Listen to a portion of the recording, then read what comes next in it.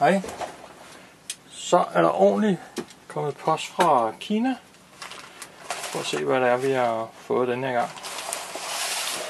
Vi starter med den første, så kan jeg se, at de har skrevet det en, en gave, selvom det tvivler jeg lidt på, til en værdi af 3 ugers dollars. Se, hvad det er.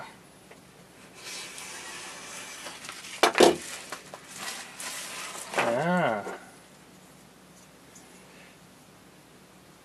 Det er min nedsænkelige vandpumpe 3-5 volt til jeg tror den kostede 15 kroner. Så den må jeg lige prøve at se om den virker, om jeg kan få et lille springvand ud af. Ved ikke, hvad der er sket med prisen, siden jeg købte den. Men jeg gav i hvert fald øh, 16 kroner og 55 øre for den. Og den kostede 2 dollars og 88, da jeg købte den. Øh, så jeg ved ikke, om de havde glemt et nital, eller 165 for sådan en lille pump. Det er i hvert fald meget øh, godt dyrt. Men øh, til 16 kroner synes jeg, det virker okay. Øh, nu må jeg også lige se, om den, den virker. Øh, den blev... Øh, jeg købte den hos Satisfy Electronics.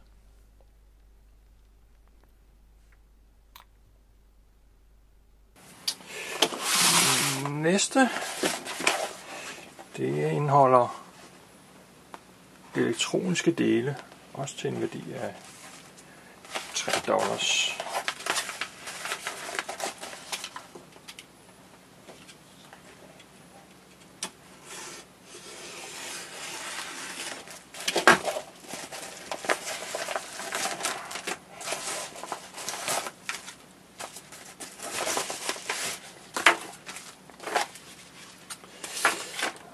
se, den indeholder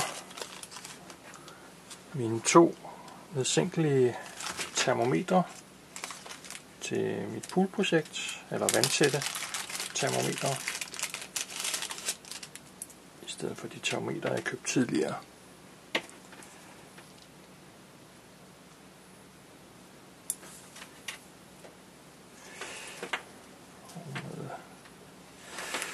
Og nogle løse ledninger til, til at forbinde. Og det var det sidste.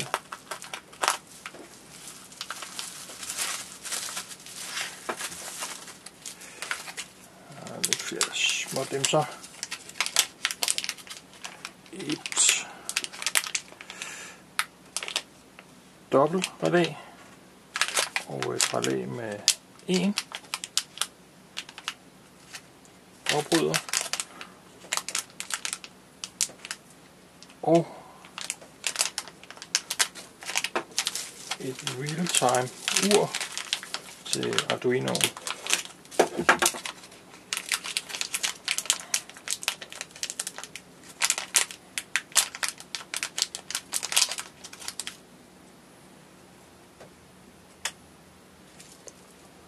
Hvad er uret og plads til et batteri, skal jeg nok lige have fundet. Jeg tror, det er et øh, 32, almindeligt 3220, der passer til.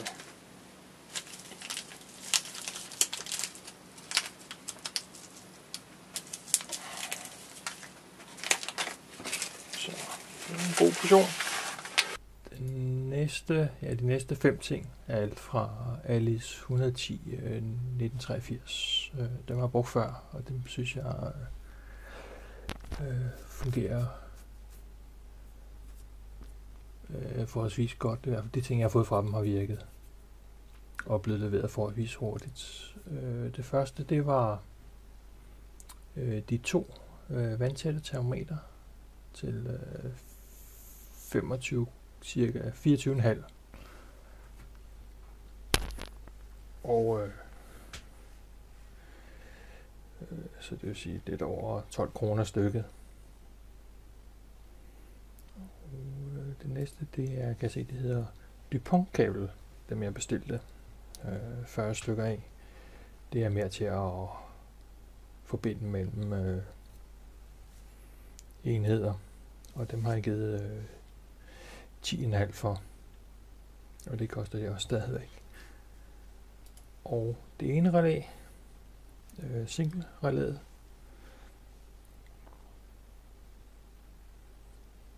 øh, til øh, 7 kroner og 44. Og dobbeltrelæet har jeg givet lidt cirka 10 kroner for. Øh.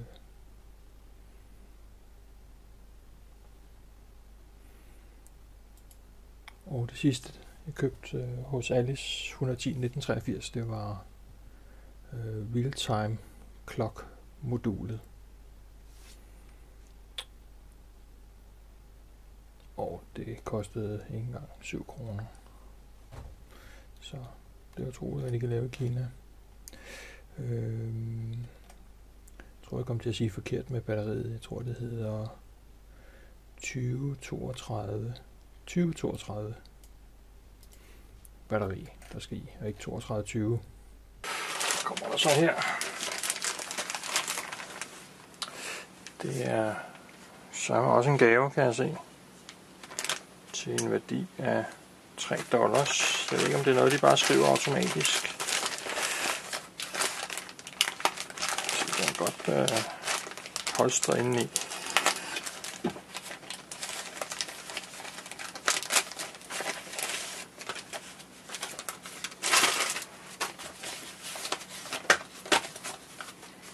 Ah. Det var hurtigt. Øh, jeg tror, det er en uge siden, jeg bestilte dem her. Det skulle være nogle uægte øh, Dymo-labels. Så det bliver spændende at se. Det var hurtigt, de ankom sige, at jeg har været på ferie en uge, så jeg ikke lige tid på præcis, hvornår de er ankommet. Så har jeg fundet min, øh, min bestilte øh, kopi Dymo tanks frem. Og jeg har sådan en her, som jeg egentlig bruger meget, men jeg synes, de er simpelthen for dyre, de her. De koster 70 kroner herhjemme. Så nu er det nogen til 30 kroner i Kina. Og øh, så må vi se, om de kan dække Spæksene siger i hvert fald, de burde være passe sammen. Prøv at se.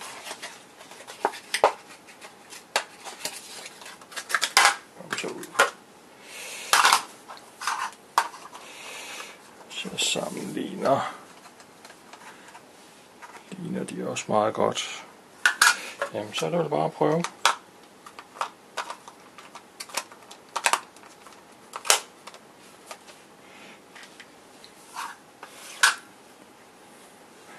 se her. Prøver bare at printe det første, der står.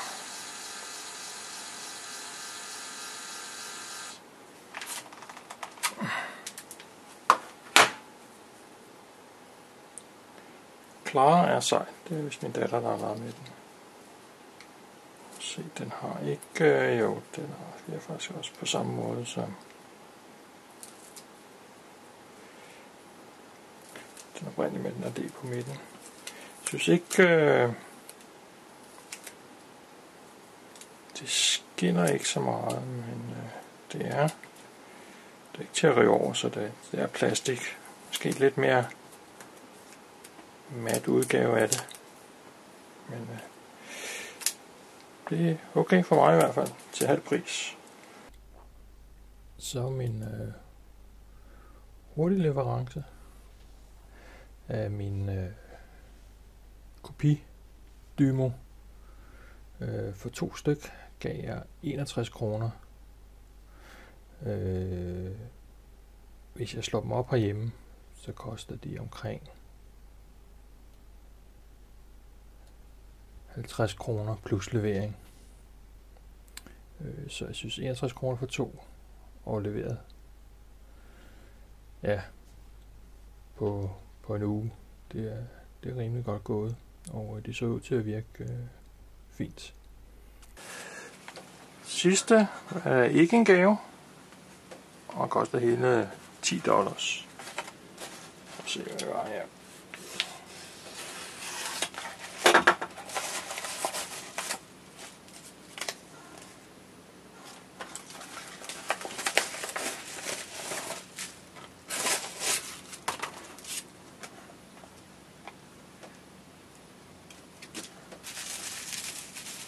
To små pakker.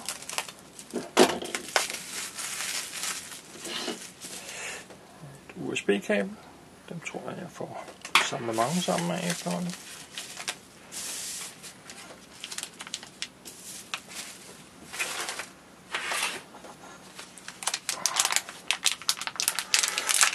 Skal vi se her.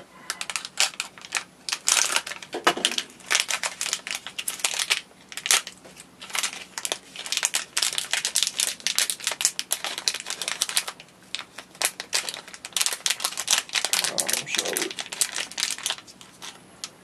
Sådan. Den var ikke stor.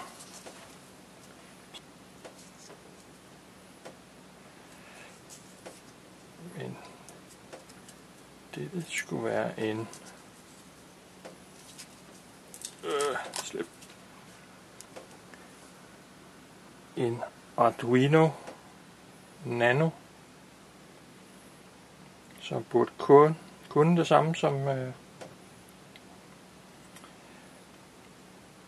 store Arduino Uno, men ikke har så mange porte, men skulle på programmeres på samme måde. Lidt standard mikro, mini USB, og øh, dem er der to af. nu.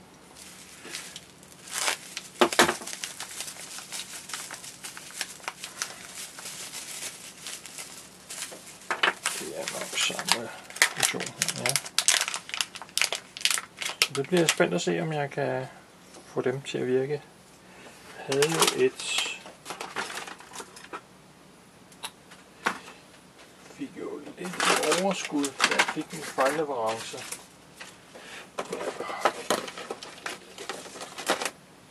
Fra, da jeg bestilte min første Arduino.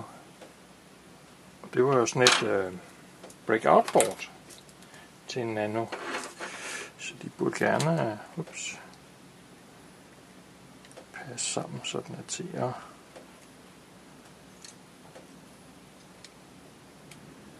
til at også eksperimentere med, uden at skulle lade det hele sammen.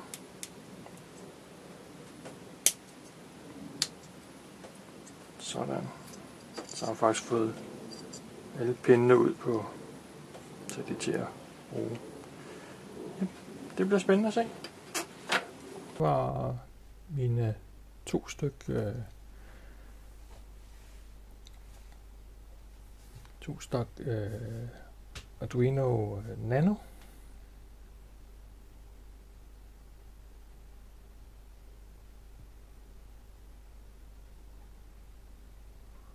Og øh, dem har jeg givet for 27 kroner. 27,5 for stykket. Og øh, de så også ud som øh, de blev ved. Og dem har jeg købt så en, der hedder Komeli i Lili. Komeli i